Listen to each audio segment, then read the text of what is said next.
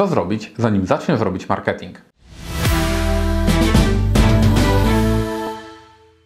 Witaj, nazywam się Marcin Kokowska, jestem seryjnym przedsiębiorcą, a na tym kanale uczę jak rozwijać biznes i jak robić marketing. Dzisiaj opowiem o tym, co zrobić zanim zaczniesz robić marketing. Dziesiątki szkoleń, setki książek, artykułów jest na temat tego, w jaki sposób robić marketing, jak wykorzystywać wszystkie kanały marketingowe, jak to przekłada się na sprzedaż.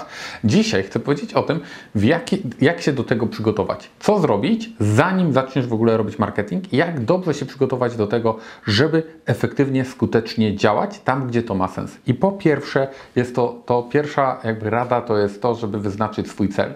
Wiele osób mówi, dobra, chcemy działać, działamy, widzieliśmy jakiś filmik, słyszeliśmy o tym, że e, gdzieś tam media społecznościowe działają, że trzeba być na Facebooku, że trzeba zrobić stronę internetową, natomiast ja się pytam, jaki jest Twój cel?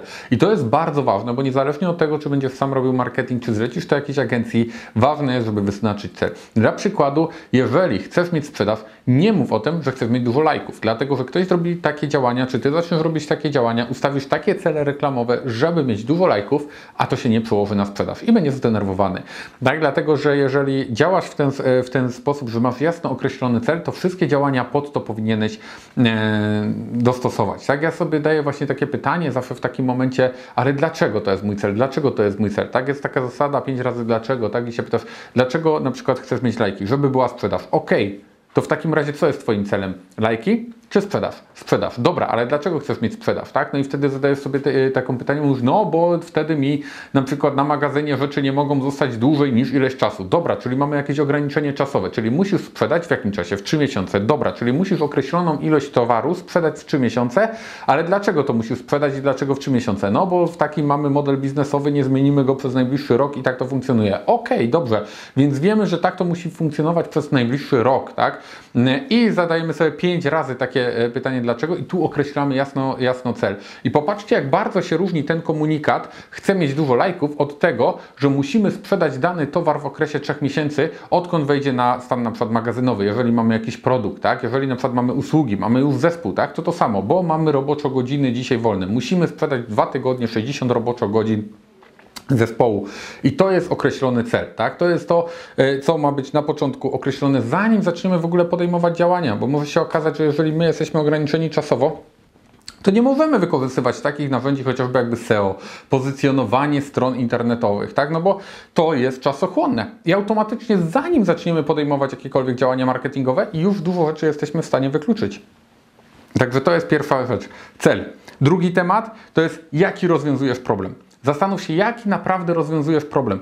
Zauważ, że w momencie, kiedy e, świadczysz jakieś usługi, sprzedajesz e, jakiś e, produkt, tak, czy usługę, to zawsze robisz jedną z dwóch rzeczy. Albo komuś rozwiązujesz jakiś problem, albo przybliżasz go do spełnienia marzeń. Tak, więc zadaj sobie to pytanie, jaki ja rozwiązuję problem. Tak? Dla przykładu, kontynuując tutaj sobie dalej, jeżeli ktoś sprzedaje jakieś produkty, niech to będą choinki, tak? No to wiemy, że jeżeli my mamy dzisiaj ileś e, choinek, tak, ich czas przydatności powiedzmy będzie dwa miesiące, tak, ale wiemy, że tak naprawdę my musimy komuś rozwiązać problem do jakiej daty? Do świąt, tak? Do świąt. Jeżeli to oglądasz teraz w styczniu, tak, czy później w kolejnych miesiącach w styczniu jest publikacja tego filmu, to sobie myślisz, kurczę, dzisiaj byłoby już ciężko sprzedać te choinki, bo w grudniu e, było dużo osób, które były tym zainteresowane, tak, dlatego, że to jest e, jakby element świąt, tak, i wtedy się to sprzedaje. Więc zastanów się, jaki rozwiązujesz problem. Jeżeli jesteś masażystą, to tak, to jesteś w stanie komuś rozwiązać problem bólu, tak? ale jesteś w stanie też przybliżyć go trochę do jakichś e, marzeń, czyli na przykład jakaś regeneracja, rehabilitacja, tak? czyli jakby pozbywasz się jakiegoś bólu fizycznego w tym, e, w tym przypadku, a z drugiej strony ktoś może się jakby dobrze poczuć, zrelaksować, tak? w zależności od tego, jaki to jest masaż. Jeżeli sprzedajesz kredyty, no to z jednej strony zas, jakby zaspokajasz taką potrzebę bezpieczeństwa, tak? być może pozbycia się jakichś problemów, wyzwań finansowych, tak? E, a z drugiej strony przybliżasz do spełnienia marzeń, tak? że ktoś nie wiem, kupuje samochód za ten kredyt, czy kupuje dom za ten kredyt, więc spełniasz jakieś marzenia, a z drugiej strony pozbywasz się bólu. Kiedy masz jedno i drugie i teraz masz na to czas, nie w momencie, kiedy już będzie natłok obowiązków, kiedy trzeba będzie pisać artykuły, udostępniać je, e, nie wiem, robić jakieś inne materiały, tak, marketingowe, to wtedy już musisz wiedzieć to, co tam masz mówić, jakie materiały przygotowywać, jaki rozwiązujesz e, problem e, i jak przybliżasz kogoś do swojego celu. I teraz kolejne pytanie, komu rozwiązujesz ten problem. Czyli tutaj persona, tak? Komu rozwiązujesz ten problem, kto jest tą osobą dokładnie, do której ty masz e, dotrzeć. Już wiemy, co chcemy osiągnąć, wiemy, jaki rozwiązujemy problem i do jakich marzeń kogoś przybliżamy, więc teraz pytanie, kogo? Kto jest twoją personą, tak? Mężczyzna, kobieta, mieszka na wsi, w mieście, e, w jakim jest e, wieku, jakimi językami mówi, w jaki sposób e, ogląda na przykład, nie wiem, jaką telewizję, czy bardziej YouTube, Netflix, telewizję mm, tradycyjną. Wiele takich rzeczy. To jakby jest persona. Zobacz sobie materiał, który był tydzień temu udostępniony na temat persony, tak? Jeszcze wy, będzie też cały webinar nagrany na temat persony, tu już nie będziemy się rozwodzić na ten temat. Po tym materiale zobacz sobie właśnie cały filmik na temat persony, to jest bardzo ważne, żebyście mieli określoną personę, czyli właśnie o, jakby obraz osoby, komu ty rozwiązujesz problem, do kogo ty chcesz dotrzeć, tak? Kto jest twoim potencjalnym e, klientem. Kolejny, czwarty krok to jest zbadaj tą grupę docelową. W momencie, kiedy ty już wiesz, kto to jest, zbadaj tą grupę docelową, sprawdź, jakie mają nawyki, gdzie oni rzeczywiście bywają, zadaj im pytania, zrób ankietę, sprawdź co, chociażby jeżeli już masz stronę internetową, możesz zobaczyć, jakie osoby wchodzą na tą stronę, co czytają, co oglądają, ile czasu tam e, spędzają, e, demografia, tak, czyli w jakim to są wieku, z jakich miejsc dokładnie e, do Ciebie trafiają, tak, i zobacz, co zadziałało, czyli zrób takie badanie, z jednej strony rozmawiając z nimi, z drugiej strony zach- o- obserwując ich zachowania. To jest e, jedna z takich rzeczy, które w momencie, kiedy robisz ankiety, to dostajesz gotowe teksty, które później możesz wykorzystać w swojej ofercie, czy możesz wykorzystać w rozmowach, tak? W momencie, kiedy ja się przygotowuję do kolejnych e, szkoleń, tak, przygotowuję szkolenia marketingowe, zrobiłem e, ankiety. Kiedy przygotowywałem się do szkolenia rozwiń swoją firmę, zrobiłem ankiety, dokładnie wiedziałem, jaki ludzie mają ból, o czym marzą, tak? Dokładnie wiedziałem, co chcą dostać, jakie mają przyzwyczajenia, jakie mają hobby. Wiele było tam pytań, na które mi odpowiedzieli i teraz ja mam zbadaną moją grupę docelową i dokładnie wiem, co mam dostarczyć tym osobom, żeby były usatysfakcjonowane, zadowolone i żeby decydowały się na zakup, e, no w tym przypadku e, szkoleń. Kolejna rzecz, jak już zbadasz, to dajesz sobie pytanie piąte, to jest co możesz dać grupie docelowej. Kiedy ty już wiesz, czego oni potrzebują, to zastanów się, co możesz dać grupie e, docelowej, tak? Jeżeli robisz na przykład e, właśnie masaż, tak? E, Przykład, który już był tutaj podawany. Możesz na przykład wcześniej zrobić artykuł na temat tego, jak ktoś, co, co ma wcześniej, zanim przyjdzie do Ciebie na masaż, na przykład bóle kręgosłupa, tak? Albo jestem nie wiem, zmęczony, chciałbym się zregenerować. Co taka osoba wpisuje w Google? Co mogłaby chcieć przeczytać? Czy ty możesz zrobić jakiś poradnik? Czy możesz nagrać jakiś e, materiał wideo? Czy możesz zrobić na przykład jakieś trzy porady na jakiś taki zrób sobie masaż sam w domu, e, a jeżeli potrzebujesz bardziej, to ciebie zapraszam, tak żeby do ciebie trafili, tak żeby to ciebie oglądali, przeczytali, żeby na przykład wypełnili formularz, żeby zgłosili się do ciebie, ale ty musisz wiedzieć, co ty im możesz dać, żeby już cię poznali, żeby cię zaufali. W momencie, kiedy ja robię szkolenia z marketingu, teraz daję porady, co zrobić przed marketingiem. To jest idealny przykład tego, tak jakby w praktyce pokazuję, w jaki sposób należy to wykorzystać. Tak, jeżeli ktoś chce robić marketing, mówi ok, ale co przed marketingiem, tak? Wpisuję to w Google czy y, w, na YouTubie, wyskakuje ten filmik, mówi ok, świetnie, ten gościu nieźle gada, mam nadzieję, tak, że, e, że tak e, sobie po, m, pomyślicie i powiecie, rzeczywiście to ma sens, tak? I to był punkt e, piąty. W punkcie szóstym zastanów się, jakie już masz zasoby. To nie jest tak, nigdy nie startujemy od zera. Kiedy współpracuję zazwyczaj, w tym przypadku akurat, czy to na, na szkoleniach, czy e, w doradztwach, które e, prowadzę, to bardzo często ludzie mówią, Jezu, zaczynam od zera, totalnie klapa, nic nie ma, Marcin, musimy to jakoś ogarnąć, a w momencie, kiedy porozmawiamy kilka minut, okazuje się, że zasoby już są, że jest naprawdę dużo zasobów. Zastanów się, co to jest, czy to jest na przykład logo, wizytówka, strona, jakaś e, szata graficzna, może jakiś sklep, ale na pewno Twoje doświadczenia, Twoja historia, Twoje kontakty, co jeszcze, tak? Konto na, w mediach społecznościowych, być może jakieś e, firmowe, może prywatne, które też można e, wykorzystać, tak? Więc może jakaś historia, już jakiś współprac, tak? To są takie rzeczy, które już możesz, e, możesz wykorzystać. Zasobów jest sporo, tak? W ostatnim czasie też miałem bardzo fajne doradztwo, e, w, po którym e, dziewczyna zrobiła zestawienie swoich zasobów i mówi na kilkadziesiąt tysięcy złotych, ma różnego rodzaju sprzętów, materiałów, jakby sprzętów to nawet bym powiedział, że chyba set tysięcy złotych, ale sprzętów, materiałów, tak jako salon e, kosmetyczny, ma naprawdę e, czym obracać, tak? I, I co już w zasobach, tak? Co już jest, no to, e, to po prostu należało to spieniężyć, tak? I okazywało się, że tych zasobów w postaci cashu po prostu jest więcej, więc zobacz, jakie ty masz zasoby, dlatego że chociażby pieniądze to też jest zasób, tak? Popatrz, jeżeli masz jakieś odłożone pieniądze na marketing, to jest twój zasób. Czas, To jest Twój zasób umiejętności, na przykład to, że Ty potrafisz samemu napisać mm, artykuł, że posta posta potrafisz udostępnić, że potrafisz zrobić jakąś grafikę. To jest Twój zasób. Wypisz sobie wszystkie zasoby, jakie już masz. Jeżeli znasz kogoś, kto to potrafi robić i Cię wesprze w tym temacie, zapisz to jako zasób, tak? Wszystkie te rzeczy okazuje się, że w tym punkcie szóstym naprawdę dużo już mamy, tak? Zanim zaczniemy w ogóle działać, mimo że nam się wydaje czasami, że my musimy od zera zaczynać. To nie tak. Masz już zasoby, wypisz je sobie. W punkcie siódmym ustal budżet, ale chodzi mi teraz o coś takiego, nie, nie o to, że masz na przykład, dobra, to ja mam 500 zł, czy nie wiem, 5000 zł na reklamę w danym miesiącu, e, tylko ustal sobie, jaki masz budżet na pozyskanie jednego klienta. Zobacz, jaki ty masz na przykład średnia wartość koszyku, średnia wartość zamówień, albo jeżeli jeszcze nie ruszyłeś z biznesem w ogóle, to, e, to na przykład jaka jest oczekiwana średnia wartość, wiesz, na przykład ile kosztują produkty, ile kosztują Twoje usługi, jakie trzeba kupić, żeby to miało sens, tak? Więc widzisz, jaki będzie średnia wartość. Później policz, jaką masz na tym marżę, tak? Jeżeli to są usługi, to czy musisz komuś zapłacić za zrobienie tego, czy robisz to samemu? Jakie masz inne koszty prowadzenia biznesu?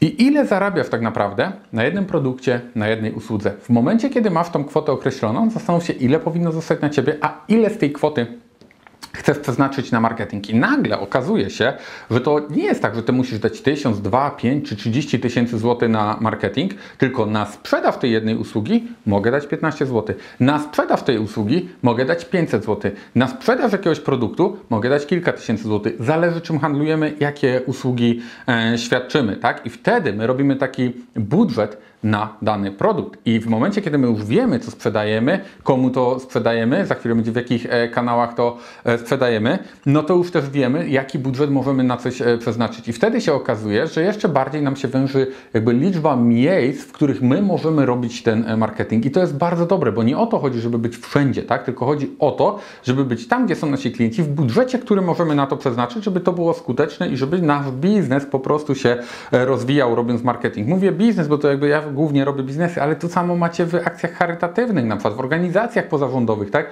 Krok po kroku to wszystko. Być może tam powiecie, dobra Marcin, budżet zero. Okej, okay. i to jest bardzo ważna informacja, powiesz budżet zero, bo nie możemy przeznaczyć na to pieniędzy, więc się zastanawiasz, jakie mogę podjąć działania, nie wydając żadnych pieniędzy, żeby pozyskać em, klienta, tak? I to jest też bardzo ważna informacja. Dopiero w punkcie ósmym badamy konkurencję po to, to jest ważny punkt, tak? Natomiast nie daję go z przodu, żeby się nie do końca inspirować tymi osobi, osobami. Dopiero teraz, kiedy my już wykorzystaliśmy swoją, e, swoje, swoje jakby doświadczenie, swoje zasoby, wiemy już na czym stoimy, wiemy komu co, w jakim budżecie chcemy sprzedawać, wtedy zaczynamy obserwować konkurencję. Wtedy patrzymy na to, co oni dokładnie mm, robią, po to, żeby powiedzieć, ok, to bardzo dobrze pasuje do mojej mm, strategii. Nie zżynamy tego jeden do jednego, tylko patrzymy na to w kwestii jakby takiej inspiracji. Mówimy, dobra, ten kanał fajnie działa, zróbmy coś może podobnego, coś ciekawego. Nie chodzi o to, żebyśmy teraz kopiowali wszystkie działania i tylko robili takie rzeczy jak konkurencja. Mam nadzieję, że do tego punktu już doszliście do tego, co warto u Was zrobić, a e, co nie. I w tym punkcie jesteście w stanie po prostu zweryfikować to, co robi konkurencja, żeby się zainspirować, zobaczyć, po prostu mieć też rękę na, mm, na pulsie. Tak? I w punkcie dziewiątym, jakby sumując wszystkie te rzeczy, które dotychczas e, prze, przerobiliśmy, zaplanuj działania. To jest jeden z podstawowych błędów, e, zanim w ogóle zaczniemy robić marketing, że my nie planujemy działań. Później wychodzi ogromny chaos, wychodzi niesystematyczność działań. O tym będzie, będzie też film o błędach w mediach społecznościowych. Nawet się webinar na ten temat mm, pojawi, e, dlatego że tak sporo tego jest. Natomiast kluczem, jedno z podstawowych jakby rozwiązań większości błędów, jakie się pojawiają w robieniu marketingu, jest zwykłe planowanie. Zaplanuj Twoje działania, zaplanuj budżet, zaplanuj czas, jaki na to poświęcisz, zaplanuj, kto będzie się zajmował tym marketingiem. To nie jest tak, że to musisz robić Ty, tak? Bo jeżeli Ty już dzisiaj masz pokorek po prostu zadań, to nie jesteś w stanie wcisnąć jeszcze kolejnych iluś godzin, więc jeżeli ktoś inny ma to zrobić, zaplanuj te, e, te e, działania, tak? Punkt dziesiąty to jest zaplanuj, co będziesz mierzyć, czyli KPI, tak? To jest zaplanuj, co będziesz mierzyć, jakie są te kluczowe miejsca, które są dla Ciebie ważne. Wróćmy do samego początku. Jeżeli dla Ciebie liczba lajków jest ważna, to co masz mierzyć? Lajki. Tak? Jeżeli dla Ciebie ważna jest sprzedaż, to co masz mierzyć? Sprzedaż. Jeżeli dla Ciebie ważna jest rentowność i zysk, musisz liczyć, jaki jest koszt, jaki jest tego przychód, jakie są e, inne koszty, jakie masz marże na danym produkcie i wychodzi Ci Twój wynik e, finansowy. Sprawdź, co musisz mierzyć. Oczywiście do sprzedaży czasami to jest cały lejek, tak? Trzeba mierzyć poszczególne kroki, które przechodzi klient. Widzi na przykład jakiś artykuł najpierw, później przechodzi do zakładki koszyk, później to zostawia, musisz włączyć remarketing e, na tą osobę. Ona wraca po jakimś czasie, ale tylko pod warunkiem, że wcześniej była na blogu, to znowu kupi. Być może wtedy sprzedaż jest większa. Ale jeżeli w koszyku już dodasz na przykład, że jeszcze do tego produktu warto dokupić coś, albo że inni klienci oglądali też i wtedy ta osoba daje i podnosisz wartość koszyka i to się zaczyna wszystko bardziej spinać, ale każdy z tych kroków, o których powiedziałem, trzeba mierzyć. Mówi się, że poprawić możesz tylko to, co możesz mierzyć, więc zastanów się, żeby nie było tych punktów za dużo, bo nie o to chodzi, żebyśmy teraz byli jakimiś analitykami e, tutaj i, i tylko tym się zajmowali. To jest jeden z elementów, ale zanim jeszcze zaczniesz działać, bo później już nie będziesz miał na to czasu, nie będziesz się tym zajmował, tak? E, i nie będziesz o tym myślał. Dopiero jak coś pójdzie nie tak, to zaczniesz się zastanawiać, co idzie gdzieś nie tak. Ale ważne jest, żeby zanim zaczniesz to robić, już wiedzieć, co Ciebie interesuje, co chcesz mierzyć. Punkt jedenasty. Punkt jedenasty, już przedostatni, to jest zadbaj o legalność działań. I w momencie, kiedy to weryfikowałem i zespołem o tym e, rozmawiałem i mówię, że w punkcie 11 daje legalność działań, to trochę dostałem taki feedback, że mówią, Marcin, czy nie powinniśmy od tego zacząć? Ja mówię, jako wspólnik w kancelarii prawnej Mediator Legal Bratek Świderska Kokoszka, e, wiem, że jeżeli ktoś przyjdzie i się zapyta nas, czy można to robić, może być taka informacja, że powiemy, że na przykład no nie powinno się, tak? E, albo jak się pytacie, co można robić, to wypiszemy, powiemy kilka rzeczy, które można zrobić, tak? Ale jeżeli ktoś przyjdzie z gotowym pomysłem i powie, hej, chcę, żebyście e, opracowali mi legalność działań na to i na to, to prawdopodobnie znajdziemy rozwiązania. Wiecie, jakby to, co chcę przekazać, to to, że jako e, kancelaria, jako w, w inni jakby prawnicy, radcy, adwokaci są od tego, żeby znajdować też rozwiązania, tak? Żeby myśleć biznesem, tak? Żeby dla biznesu e, pracować. Więc jak już wiesz, że te rzeczy chcesz robić, to ty zadbaj o legalność tych działań. Nie mówię teraz o tym, że o dobra, lecimy do przodu, tam bez regulaminu, bez RODO, bez polityki prywatności, bez wszystkich tych rzeczy po kolei. Absolutnie. Chodzi o to, żebyś zadbał o te rzeczy, ale żeby w tym momencie te rzeczy, które ty już chcesz robić, to żeby one były legalne, żeby ktoś ci opracował to. Jeżeli się okaże, że one są nielegalne, to niech ci na tym etapie ktoś powie. Natomiast w zdecydowanej większości przypadków jesteś w stanie znaleźć legalne rozwiązania na to, żeby zrealizować swoją wizję. Nie chcę, żeby aspekty prawne ograniczały cię, tak? W momencie tej kreatywnej pracy, wymyślania, sprawdzania, weryfikowania, badania klientów, tak? Tylko w momencie, kiedy już to masz zrobione, to trzeba zadbać, żeby te działania były legalne. Jeżeli po tym punkcie czujesz, że u Ciebie może być coś do poprawy, to ja zapraszam oczywiście do e, naszej kancelarii Mediator Legal. I punkt dwunasty. Ostatni. Ostatni punkt to jest y, coś, co tak naprawdę powiecie, dobra Marcin, e, kończ, dawaj ostatni punkt, ale to jest coś, co tak naprawdę dopiero teraz się zaczyna, dlatego że musisz zadbać o edukację. I to nie tak, że teraz, o, mam chwilę czasu, siądę, przeczytam trzy książki i wiem, dbaj o tą edukację cały czas. Tak naprawdę cały czas rzeczy w marketingu się e, zmieniają, nowe możliwości się pojawiają, więc ty musisz pozyskiwać nową wiedzę, musisz wiedzieć, co jest na czasie. Nie tylko po to, żeby to robić, tak, ale też, żeby wiedzieć, czego od innych oczekiwać, żeby się tym e, inspirować, żeby wiedzieć, co rozliczać, co mm, e, weryfikować. Widzę też to, że dzisiaj tak naprawdę w robieniu marketingu, w biznesie, te nowości, te rzeczy, które część rzeczy zostaje, to cały czas bardzo fajnie działa, natomiast warto mieć tą rękę na pulsie. Jest też takie powiedzenie, pod którym ja też się e, podpisuję, że e, rozwijać się musisz, zdobywać nową wiedzę musisz nie tylko po to, żeby się rozwijać, ale też po to, żeby zostać w tym miejscu, w którym jesteś. Tak naprawdę, żeby nawet jeżeli mówisz, u mnie wszystko jest spoko, u mnie jest wszystko fajnie, dobrze mi idzie, to i tak, żeby w tym miejscu zostać, i tak musisz się rozwijać, tak? i tak musisz pozyskiwać wiedzę, bo inaczej po prostu nie zostaniesz e, w tym miejscu.